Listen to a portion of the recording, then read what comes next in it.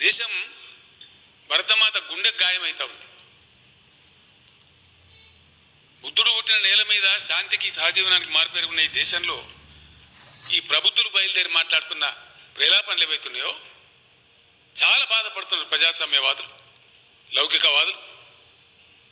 ప్రపంచానికి శాంతి సందేశం ఇచ్చిన ఈ దేశం మహాత్మా గాంధీ గారి బొమ్మ అనేక దేశాలలో ఉంటుంది అధ్యక్ష.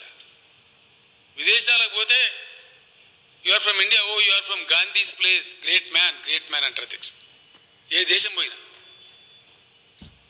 అటువంటి దేశంలో ఏం వింటున్నాము? ఏం జరుగుతున్నది?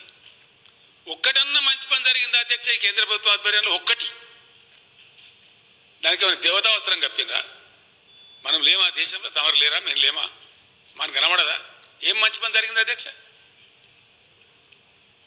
అప్రజాస్వామికంగా కిరాతకంగా రాజ్యాంగ సంస్థలని దుర్వినియోగం చేస్తూ అధికార దుర్వినియోగం చేస్తూ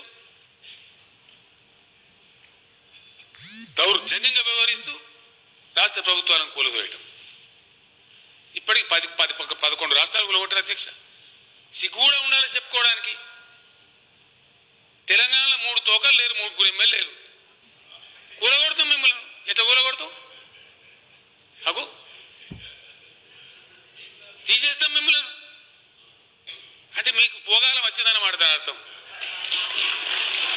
మాటలు ఎవరు మాట్లాడతారు అధ్యక్ష? ప్రజలకు అర్థం కాదా? దీని మూలం ఎక్కడన్నదని దేని కొట్టానో తెలియదా ప్రజలకు?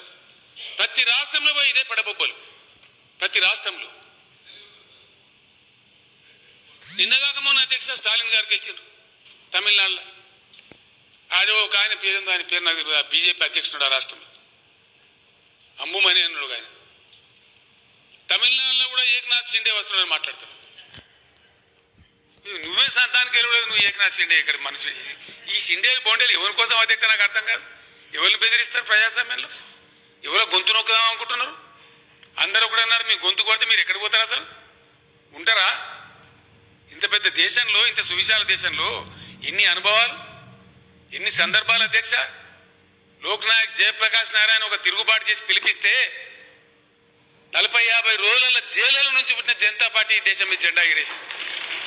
That is the power of democracy yes that is the power of democracy చూపిస్తారు ప్రజలు. సమయం వచ్చినాడు. ఈ గోల్మాల్ గోవిందని చెప్పి ఇష్టం వచ్చినట్టు మాట్లాడి ఒక్కటన్నా జరిగింది అధ్యక్ష ద్రవ్యోల్బణం పెరుగుతుంది.